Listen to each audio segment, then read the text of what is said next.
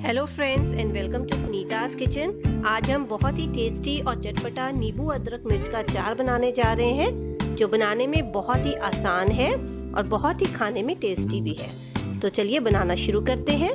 ये बनाने के लिए हमें 200 ग्राम अदरक चाहिए। इसे आप छील लें और वॉश कर लें अच्छे से। 50 ग्राम हरी मिर्च चाहिए। 250 ग्राम नींबू चाहिए। नींबू ध्यान रहे कि खराब नहीं होना चाहिए बिल्कुल भी, और नमक चाहिए दो चम्मच। तो सबसे पहले हम एक खुले बर्तन में अदरक को पतला पतला काटेंगे। तो इस तरह से इसके आप स्लाइसेस कर लें पतली पतली बिल्कुल। जितनी आपको पसंद है। खाने में जितनी अच्छी लगती है, मोटी किसी को अच्छी लगती है, किसी को पतली अच्छी लगती है तो इस तरह से आप इसको लंबा लंबा काट लें। इस तरह से हम सारा अदरक काट लेंगे। ये देखिए, ये अदरक के हमने ये जूलियंस काट लिए हैं। अब हम हरी मिर्च काटेंगे। तो हरी मिर्च को भी हमने बीच में से आधा कर लेना है। इस तरह से देखिए। इस तरह से इसको हम आधा कर लेंगे। और जैसे कि ये हरी मिर्च बड़ी है तो इसको हम और इसको काट लेते हैं, बीच में से आधा कर देते हैं।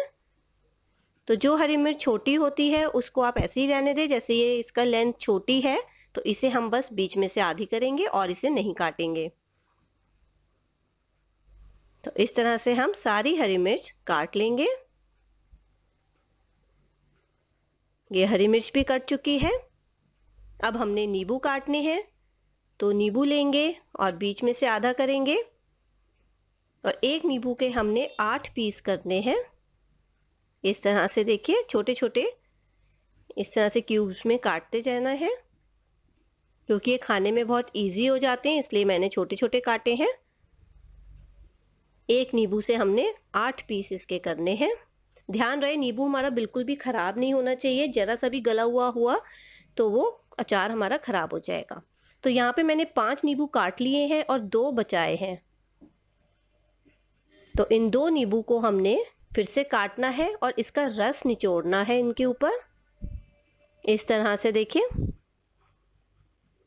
इस तरह से इन दोनों नींबू का हम रस निचोड़ देंगे। और आप चाहें तो ये निचोड़े हुए नींबू को भी काट के इसी में डाल सकते हैं। ये आपके ऊपर टोटली डिपेंड करता है। अगर आप चाहें वेस्ट नहीं करना चाहते तो इसी में डाल सकते हैं। इस तरह से ये हम निचोड़ देंगे।